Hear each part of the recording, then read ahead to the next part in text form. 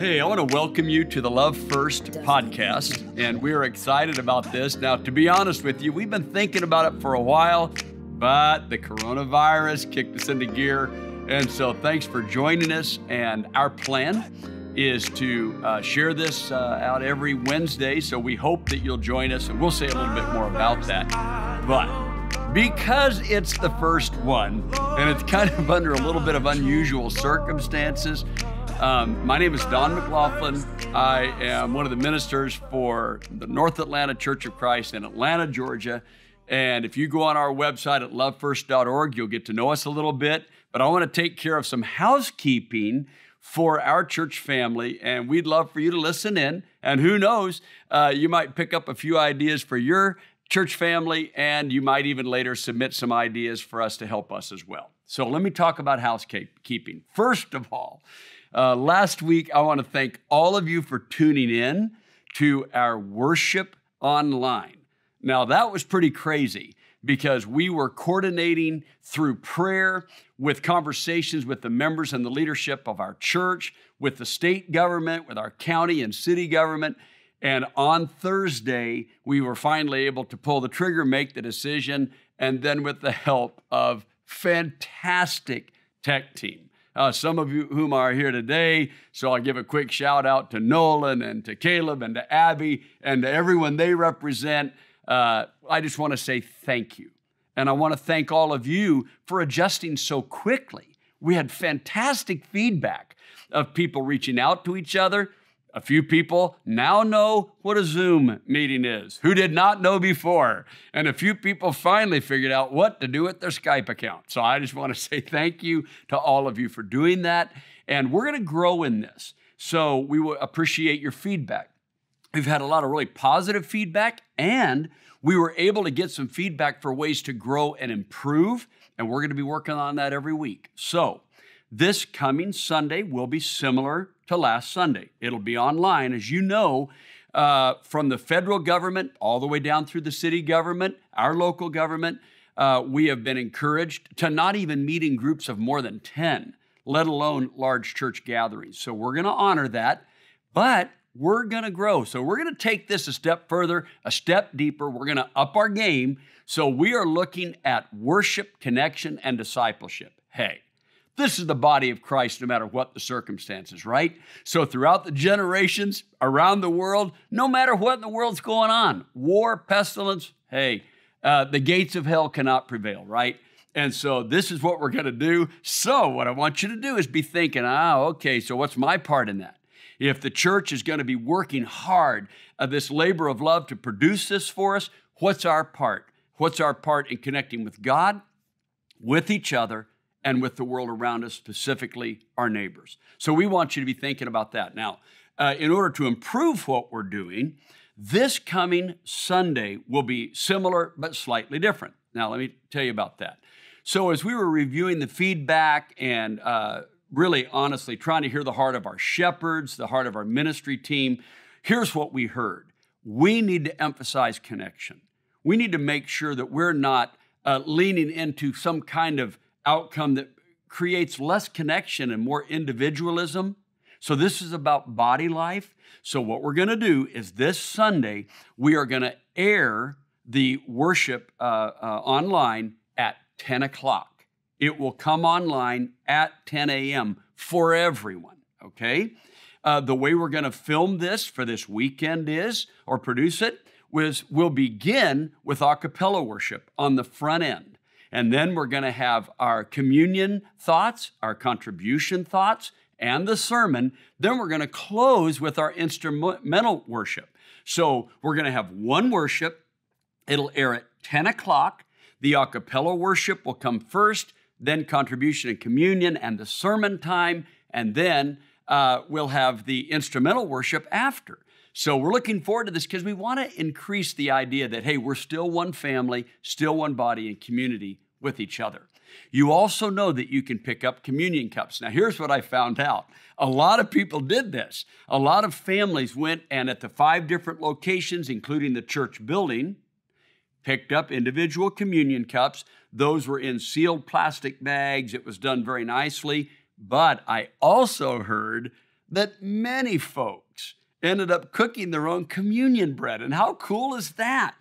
Now, I found out that a few of you need a better recipe. I ain't calling anyone out, but let's up our game there as well. But uh, we had some of grandma's recipe that had been passed down through the years, and I thought that was really beautiful. As a granddaughter in our church, cook communion bread for the first time using her grandmother's recipe. Now, what about that? Isn't that a beautiful teaching moment and an expression of love? So, these are some things that we're going to do, and I just want you to think about it. A few more things that I want to say as far as housekeeping. Hey, Don. Yeah. Hey, this is Nolan. Say everybody say thanks to Nolan in your prayers. All right, go ahead. Coming in off camera, uh, I just wanted to say one other big part about joining at 10 a.m. Yes. is that we'll we'll have some prompts for people to be able to to uh, comment and engage with each other during that live period. But of course, the worship will be available anytime after 10.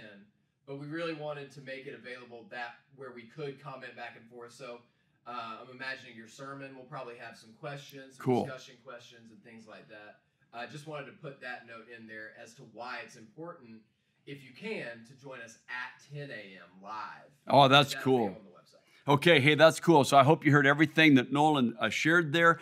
But one of the ways that we're going to emphasize that sense of connectivity is when we all join at 10 a.m., then we will have opportunity online to comment live, offer our prayer requests live, to be able to share together like that. So that's great. And Nolan, thank you so much for that update. Uh, also, one thing we'd like to talk about is this. When you think about the church throughout history, you know some of these uh, some of the books that have been written over the several decades about the ways that people responded whether it be during times of martyrdom or times of war or times of imprisonment all of these things that our brothers and sisters throughout the ages have gone through people have followed the Holy Spirit and found ways to connect. I, I, remember reading about some people that were prisoners of war.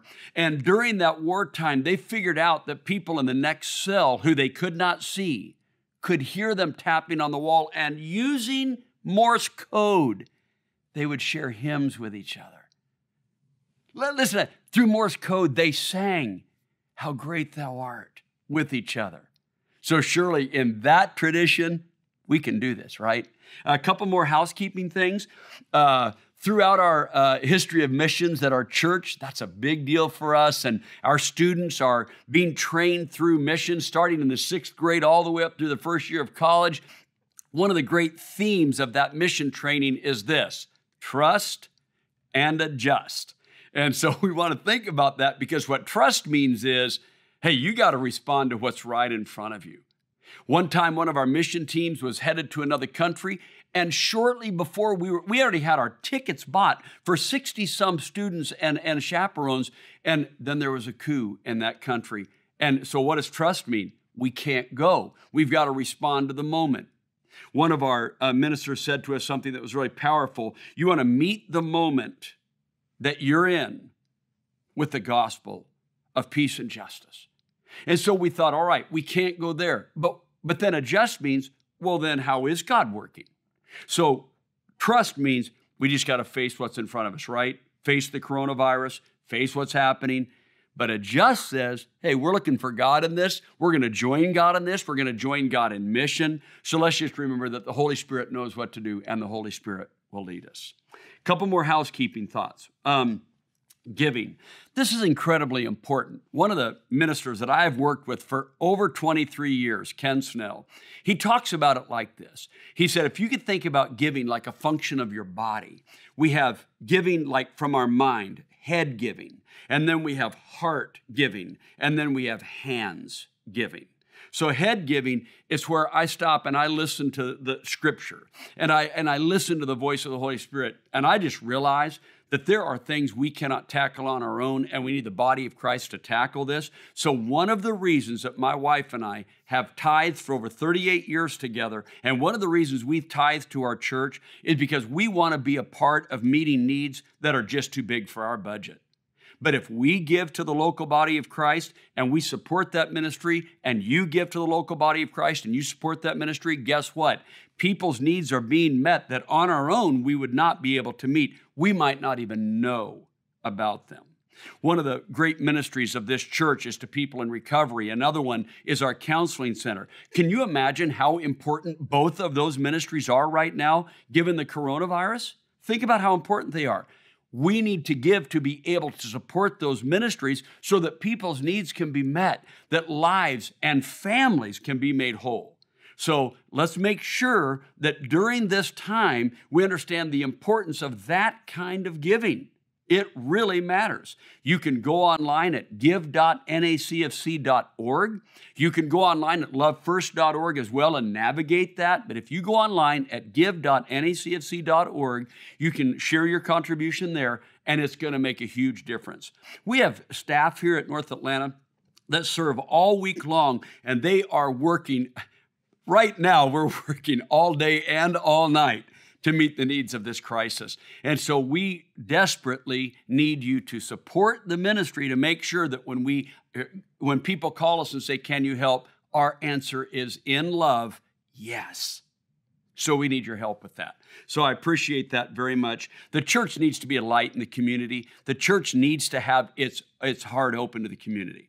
Now, a second kind of giving that I would talk about would be heart giving. And that's the kind of thing where you just realize that there's people around you that have touched your heart. You're going to reach out to their needs. And that can be in all kinds of giving. That could be in, you know, giving your influence, your finances, your time, your service. And there's all kinds of ideas out there on the internet that are just beautiful expressions of that kind of love. But there's a third kind of giving, and that's the giving right from hands. Uh, the scripture calls that alms giving. It just says there's someone right in front of you and they need a little help and it is within your capacity to help them. See, that's a little bit different, the different kinds of giving. Some of it, it takes everyone to meet a huge need. Some of us, that need is just right on, uh, right on time with us. It's the right size for us to participate in. So make sure you do something like that. So, those are some ideas on that. Everything that uh, you need on this digitally, everything you want to look for is found on our website. So, you can either go to lovefirst.org or nacfc.org. Both of those addresses end up at the same landing page. Everything you need is on that landing page. You'll be able to find it there. So we'd ask you to do that. Also, want to uh, uh, make known to you uh, that we're going to stay up to date with engagement on social media. So keep your eyes uh, open every day for things that'll come out on Facebook, Instagram, and so on. And I also want you to do this if this podcast is helpful to you, I want you to click like and I want you to subscribe. Now, why do I want you to do that? Because that's how you can pass the good, good news on to other people. That's how we can help as many people as possible. Isn't that what we want to do? See, we have love first. And what does that mean? It means that we love because God first loved us. But do you hear the equation in there? As God has loved us, we liked and subscribed. And now, what does that do for us? That says, hey, pass it on, right? Love forward. This is what we've got to do. Uh, you can uh, also know this on the website there will be a place for you to submit your questions and i've already got some that we'll address today so as we go through our content today we're going to come to a q&a and uh, i'm going to address three different questions that people have already submitted but what i'm saying to you is, is as you think through uh, what we share today I'd, I'd love for you to just go to that comment page and, uh, and share hey, here's a question. This is something I'm thinking about. And then we'll address it in future uh, podcasts. So, real quickly, uh, Caleb, Abby, Nolan, is there anything I forgot that we need to share? All right, we good? All right, fantastic. Well, I hope all of you will thank God for those that are making this happen, especially uh, those that are here today producing this. So, today, I thought the place we got to begin is with our questions. We got a lot of questions. People are wondering can we do this? How will it affect me? Here's some of the questions What's happening? How are we to understand this coronavirus? How do we understand and navigate the way it's impacting our individual lives and our families and our world? How do we do what we've got to do every day? How do we reimagine the future given that the virus seems to impact everything in our world, great or small? My guess is these are some of the questions you've been wondering, and maybe you've been okay to just blurt them out. Maybe you've just vented uh, to family or friends or online, or you might have tucked these away inside you because you didn't want to alarm other people. I bet for some of you, you're trying to think, how do I myself in some way come across as brave or together when inside my anxiety really is kind of high. So let's talk about this for a little bit. How do we handle this? So, in doing some research and reading some articles, I, I came across this idea that the answers aren't identical for everyone, right? So, how are we going to navigate this? How do we move forward? What's the future look like? Well, that isn't identical for everyone. See, for some people that have been like infected, tested positive, and infected, for some of them, you do realize they've already died.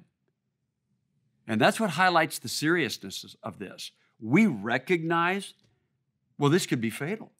Now, when you do models of, of uh, viruses and you look at like um, the percentage of death toll with Ebola, Western Africa, a little over 37%.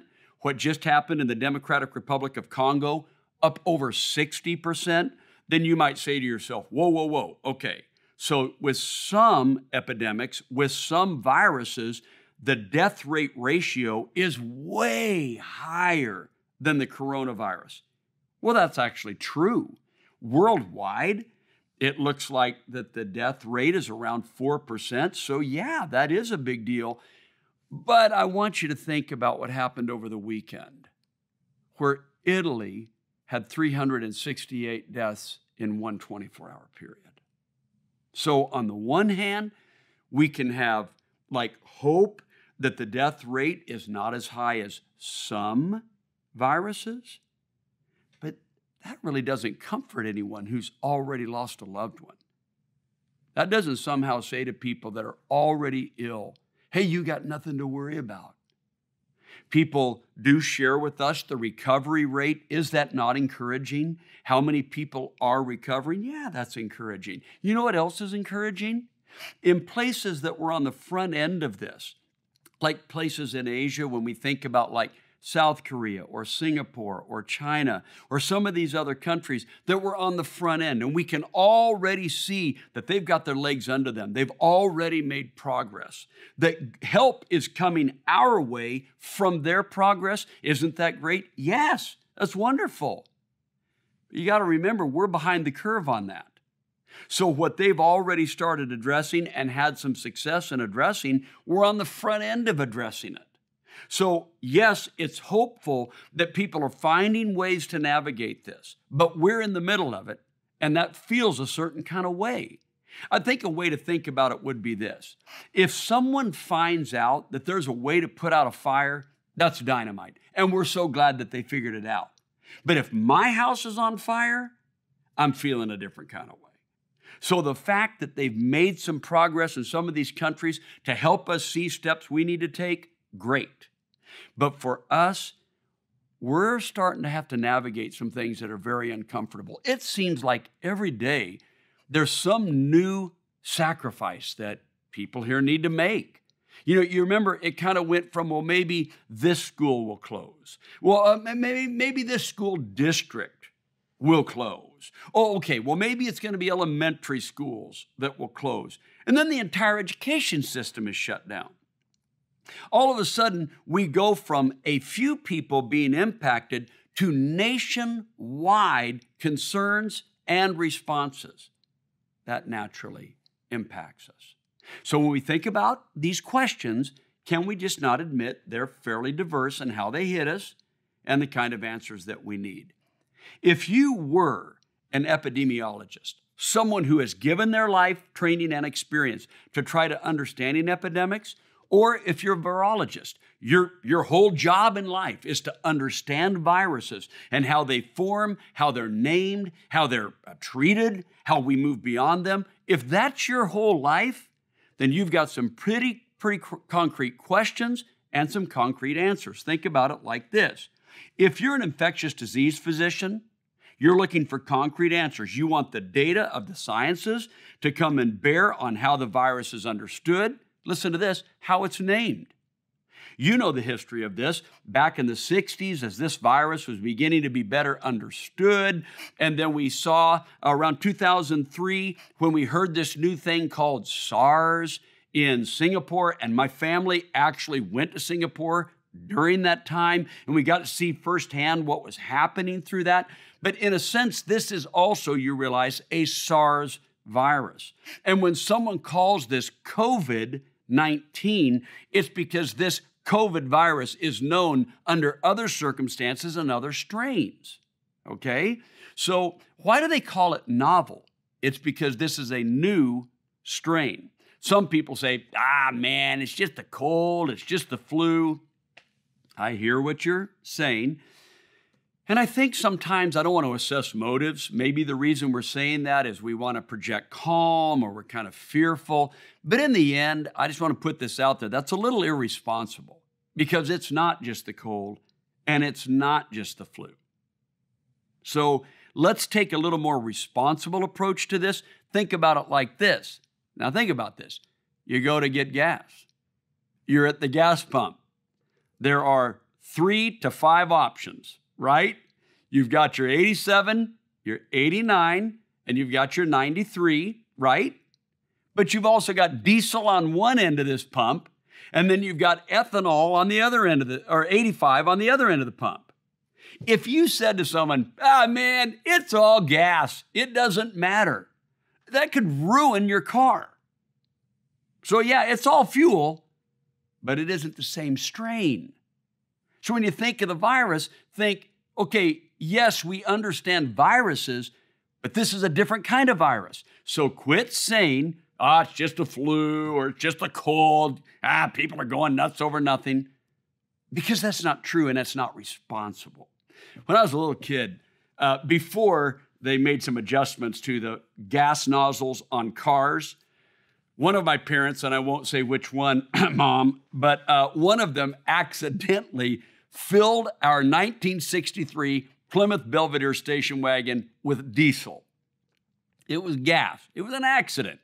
We made it about a mile up the road before our car literally looked like a house on fire going down the road. The smoke is so far around us. It's like NASCAR at the end when he wins and he's spinning, you know, burning the tires up, spinning in a big circle. It was nuts. We pull off the side of the road, we pile out of the car, and everybody's wondering what in the world happened. Is the car on fire? No, we just put the wrong fuel in the tank.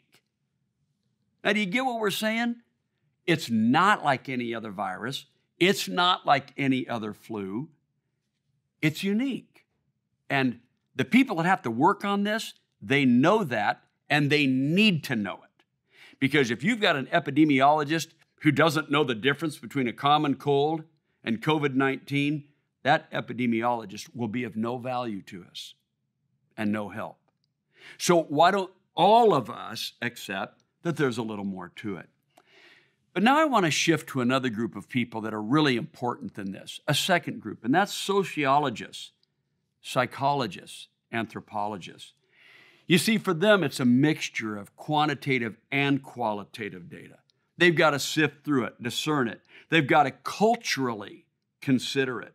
In this rapidly changing study, we've got to think about history, cultural competence, possible models of human responses of fear and anxiety. One news article asked this question How long will social distancing last? Right? How long are we going to be cooped up? Right? How long are we going to have, uh, uh, you know, a whole bunch of people in our nest that weren't in it a few weeks ago, right?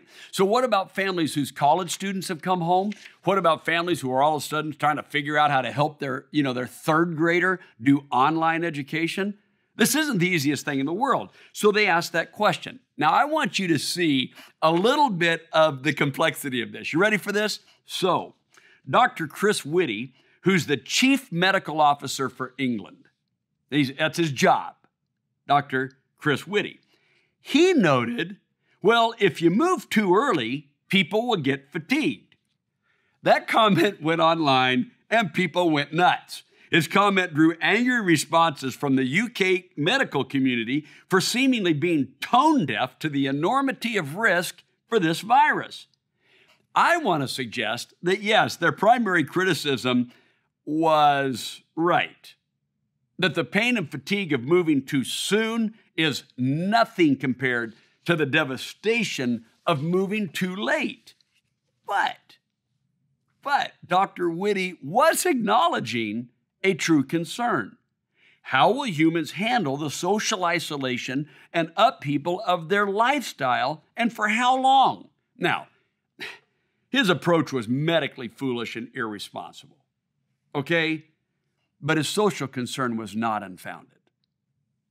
We do wonder, man, how long can we handle this? Am I going to go stir crazy? Right? Well, let me give you another side to this. Dr. Natalie Dean. Now, Dr. Natalie Dean is a biostatistician with the University of Florida. I know I can hear some of my elders right now, go Gators. Oh my goodness gracious. That is another infection altogether, people. I just have to put that out there. Sorry about that, but it's the real thing. All right. But Dr. Dean, she's at the University of Florida.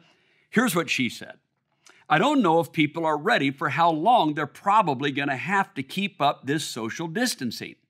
But as they see the hospital situation get more extreme, I think their attitude will change. Now, do you hear what she's suggesting? That, yeah, maybe today I'm like, man, I'm at my wits' end. I don't know if I can handle this. But as you see other elements of the virus unfold, uh, yesterday, um, one of our sons gave us a call and asked us to pray for a childhood friend who has tested positive for the coronavirus, right? So as you see that, it kind of comes up close, right? Then that helps our attitude adjust and helps our minds wrap around the size of this thing, right?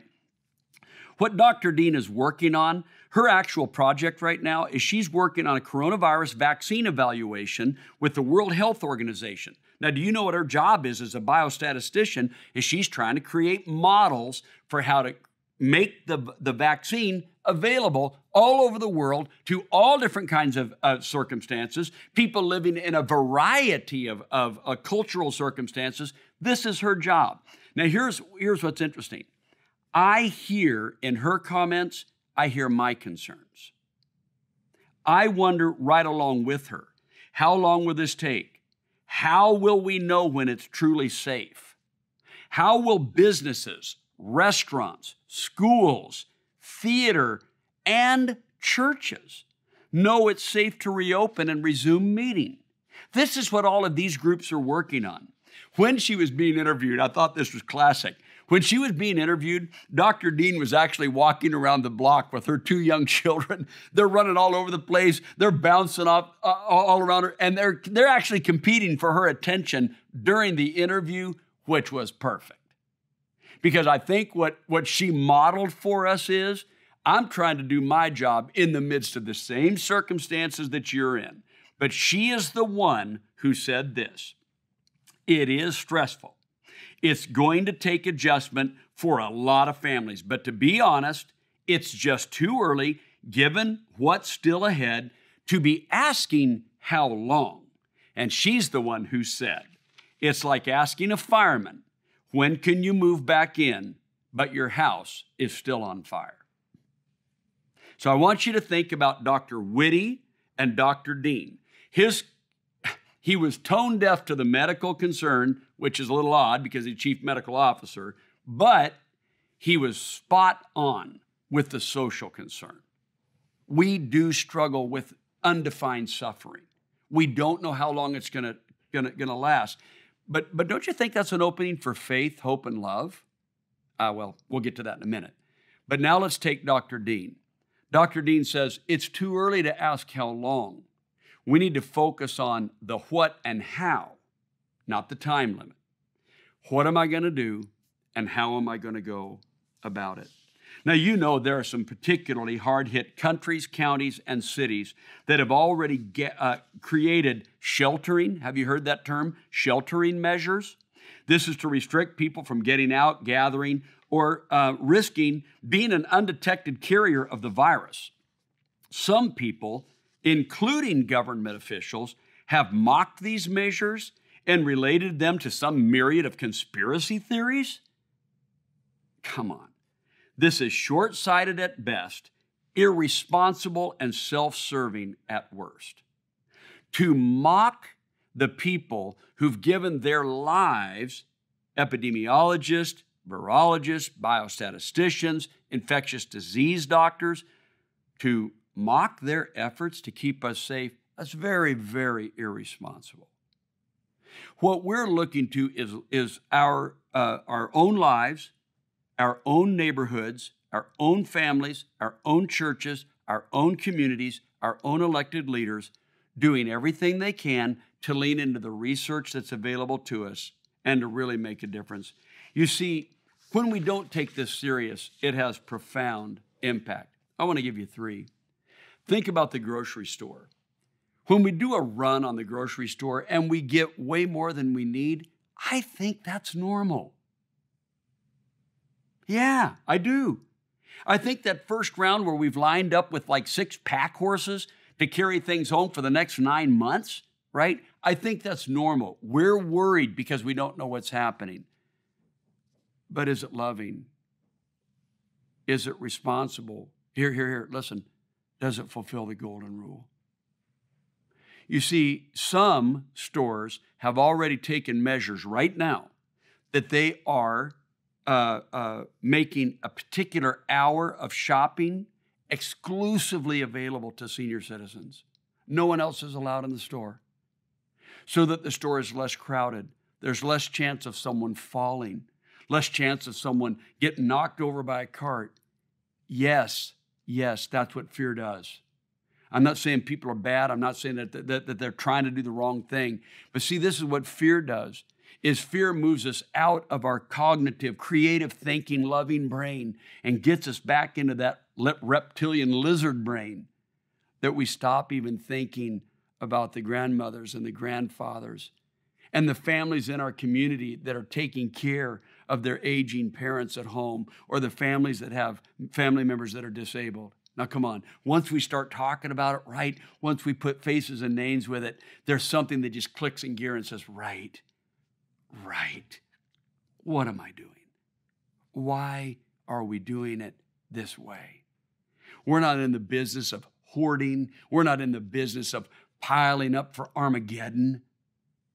We're in the business about thinking about each other and thinking about our community. You're that kind of person. I know I want to be that kind of person.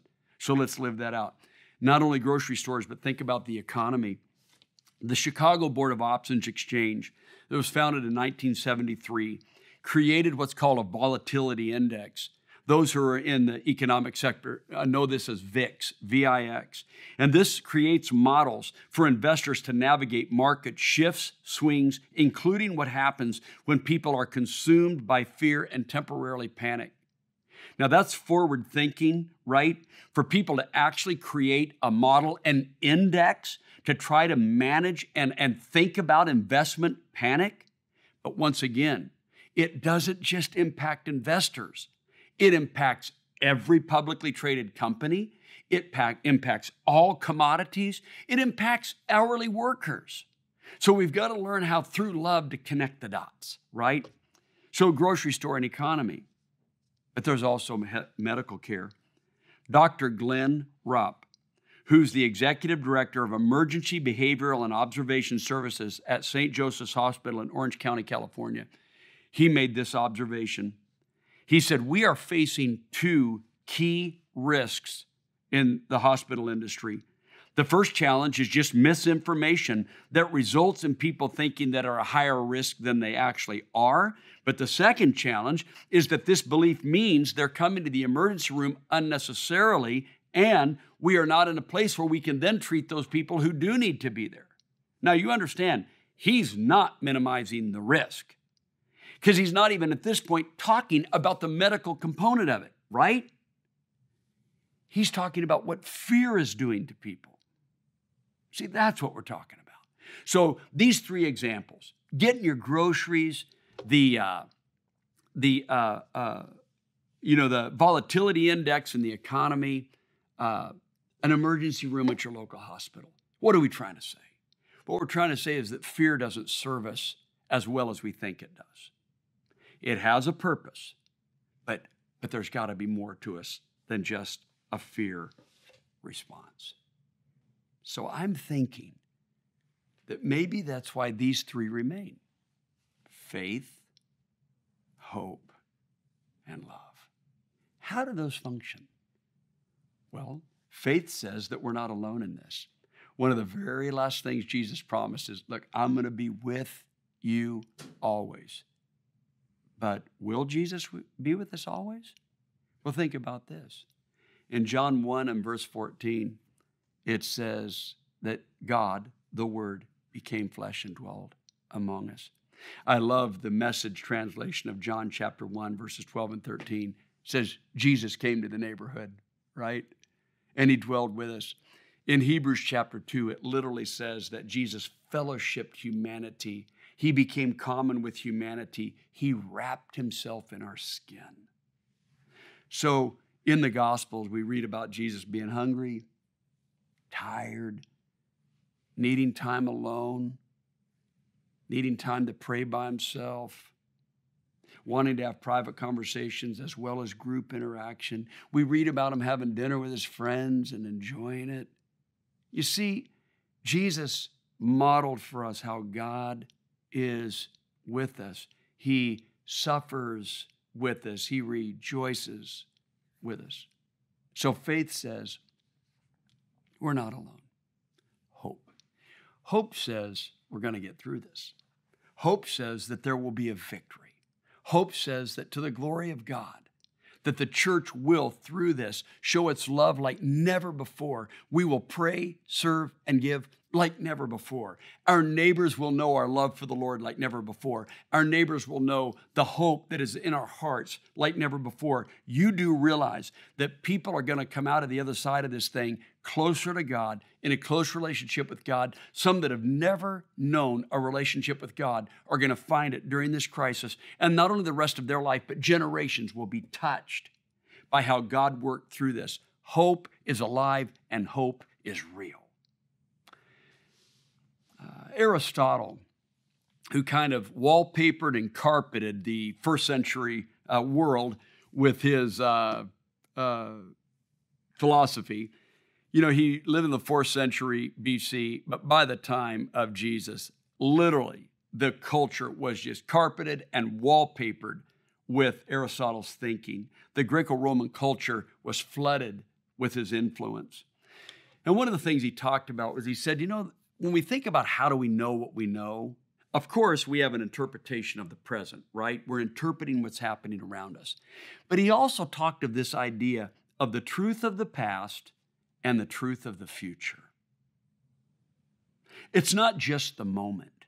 We can look into the past. Now, some people say, well, you, you, you know, the, uh, the past is 2020. I have learned that looking back at the past is not 2020. People can mess up the past just like they mess up anything else. But the past is beneficial. Why don't we say it like that? That there's truth that can come out of the past. So we can look back, for instance, at viruses that come that, that we have on recorded history that we understand. We can look even to the 20th century to the uh, Spanish influenza, the great influenza of 1917, 1918. We can read that research. And I've been blessed to be immersed in that research to, to see how research hospitals and doctors and population begin to react and move together to solve it. What a blessing it was to read that history and to see how people came together to solve that worldwide explosion of a virus. But even more recently, as we think about the viruses that we've encountered just in the last 20 years, we can take benefit from the past. But, but, but I want to get to something. Aristotle talked about the truth of the future, prolepsis. It's this idea that in the future there is truth that we can access for how we approach things right now. One of the most important proleptic statements in all of Scripture is in Revelation chapter 7, verses 9 and 10, where it says that someday every nation, every tribe, every language, all of us as one are surrounding the throne of God, celebrating in victory. That is the future. But we need to bring that future as a truth to influence our present time. So rather than getting drawn into these uh, uh, conspiracy theories and pointing the finger, well, it's probably these people's fault or these people's fault or these people's fault. How about if we look to the future and say, what's it going to look like when we get to the other side of this thing? How are we going to come out of this? So, one of the beautiful uh, uh, things that we were sharing about with the production crew before we started this podcast today was this. What is that first Sunday going to be like when we all are back together? Oh my goodness. What an explosion of joy all over the world when people get to be restored to physical fellowship with one another. See, that's what we're talking about looking to the future faith and hope. But the last is love. And love requires action. A best selling author, Don Miguel Ruiz, said it this way A moment of clarity without any action is just a thought that passes in the wind. But a moment of clarity followed by action is a pivotal moment in our life. You see, love isn't love until we act on it. That's what is required. So, love means we make that phone call, we send that email, we send that text. Think of all the corporations around America who have decided to respond to continue paying their hourly employees, to continue paying their employees, and taking care of their medical benefits. This is huge. Think about all the sports franchises who had to cancel their seasons, but they said, we will take care of all of our employees. Not just talking about the players or the athletes, they're talking about the hourly employees. This is brilliant. I've talked to my children and, and uh, the, uh, uh, their spouses and their friends. It's unbelievable the way that companies are responding. And the companies are stressed. They're stressed but people are making a great difference. I got to tell you the coolest story as we kind of wrap this up. I got to tell you the coolest story. So, one of our older, experienced members of our church, right? I don't know if she wants me to call her a senior citizen, right? But she's got, got a few decades under her belt, right? She was thinking about all of this She's been living without her wonderful husband. She was married for over 60 years. She's survived him, and she's kind of facing this thing with the typical worries that you might imagine. And then, as the Word of God began to speak into the moment for her, and she began to listen to faith, hope, and love, and it began to settle her fears and open opportunities. She began to ask, What could we do? Well, she and her adult children have a favorite sports grill near their house. They went and ordered pizzas, took the pizzas to the sports grill, which is closed uh, for customers, took it to the owner, the manager, and all their employees, gave them the pizzas, and then gave the manager money to disperse to all the employees to help them with their expenses. That's something that from our that someone from our church did. I think that's exciting. Another member of our church uh, called a neighbor that lives just down the road from them. This neighbor's been in cancer treatment, and it's really been tough anyway. They said they felt like they've been quarantined for months anyway. But he called him up and he said, Listen, I'll get out and get anything for you. Is there anything you need? They said, As a matter of fact, we could use some half and half milk. He said, Any particular brand? They said, Any brand will do. He ran to the store. He got that half and half milk, and then he thought a little further he knows they are deeply, deeply faithful followers of Christ. So he came back by the church building.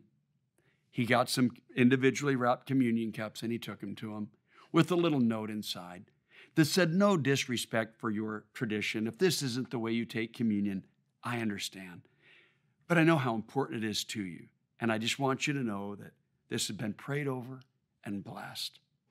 Well, not only were they overwhelmed by that kindness, but they went online, they watched the service last week.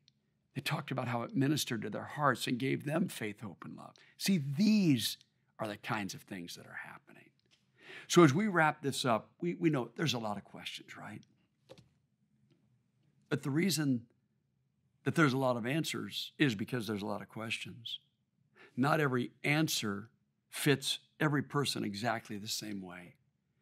If you're an infectious disease specialist, you're looking for a particular set of answers because you're asking a particular set of questions. If you're a sociologist, a psychologist, an anthropologist, you're looking at another set of extremely important questions that yield different kinds of answers. If you're a person of faith, you're looking to these two groups to inform wise decisions, right? Right? But we're most importantly, we're looking to the God of faith, hope, and love to navigate this thing. I want to uh, give you a passage of scripture that I think will help. In Luke chapter 7, uh, John the Baptist is having a hard time. You remember he was Jesus' cousin, and John's job was a front runner. He went before Jesus and told everyone, hey, the Messiah is coming. But as time went on, John ran afoul of Herod, a terrible king, ended up in prison, and his life was close to ending. John was struggling. He was struggling with how it was playing out. You realize now it's social distancing. He's in prison. He doesn't get to go touch base with Jesus. He doesn't even get to have physical contact with his own disciples. So he sends them to go say to Jesus, Man, is, are you the one? It doesn't look like it's playing out like I thought it should. How long is it going to last? When are you going to make your move? All of these things were questions. And here's what Jesus said Jesus said, First of all, John, remember the scriptures. Scripture said it was actually going to look like this. It does look like this that the blind are being given sight, that the lame are walking, that people are being healed, that prisoners are being set free, that justice is prevailing, that the gospel is being shared. So, John, in the midst of your pain, do remember that this is the picture that God painted. Secondly, John, be careful not to stumble over the momentary circumstances. I know it's tough, but keep your eyes focused on the big picture of what God is doing. So that's part of the scripture. But here's the next part. So then Jesus turned to his followers and said, You know what? What'd you come to see? When you all went out there to see John the Baptist, what'd you imagine? Did you imagine some guy putting on a big feast in the desert? You imagine a guy in royal robes? Well, when you got there, you didn't get that, did you? John was wrapped in camel's hair and was eating locusts, right? You didn't get what you thought you were going for. But he said, I'm telling you, there's never been anyone like John before. John was exactly who God called John to be. Jesus says, just like I'm who God called me to be. Now the question is, will you be who God calls you to be? Jesus says sometimes people looked at John and wrote him off. Jesus says sometimes people look at me and write me off. You know, the truth is that'll happen today. But listen to the last thing Jesus says. He says, Wisdom will be proved right by her children. People who navigate tough times wisely are an awesome witness for God, the God of faith, hope, and love. In a companion passage in John chapter 7 and verse 24, Jesus said, Quit judging by what you can see, by appearances. Quit judging by appearances and make a right judgment. So we need wisdom, not just answers. We need wisdom the wisdom that comes from faith, hope, and love. So thank you for joining us for that. I've got three quick questions that were shared, and I want to take a moment on them. The first one is if a church doesn't meet together, does it mean that we don't trust God to keep us safe from disease? So you understand the question. We know Scripture says that we should meet together, right? Right? That's crystal clear in Scripture. And Scripture also tells us to trust God. So if we don't meet together, are we not trusting God? Well, I think that's an important question, right? But I think one of the things that this coronavirus can help us with is binary, is framing something in a binary way. If we do something, it's either right or it's wrong, rather than if we make a decision based on the best uh, information we have at the time, that it could be a faithful response. So, what we're looking for is a faithful response. So let me give you a little insight from Jesus, and then we'll go to question two. Insight from Jesus is how many times does the Bible say that people were threatening his life, so he either didn't go back to that region or How many times did he go to that region, but he stayed on the outskirts of the region? How many times did he go to a feast, but he went up later rather than on the front end? How many times did he just walk away from the crowd when they were threatening his life? Shouldn't Jesus have just stayed in the middle of the threat so he could prove he trusted God? Or did Jesus model for us that different circumstances can call for different faithful responses? Now, that leads into the second question How do we guard against suspicion when others make different decisions than we make? So, if someone decides to go to into work and not work remotely, and your company has said they support either one, well, if you feel safer not going in and someone feels okay under the circumstances to go in, how do we keep from being suspicious of them. If some people say you should only order your groceries online, that's the only safe way to do it. And someone else says, I think I'm going to go to the store, I'm just going to be cautious and wash well.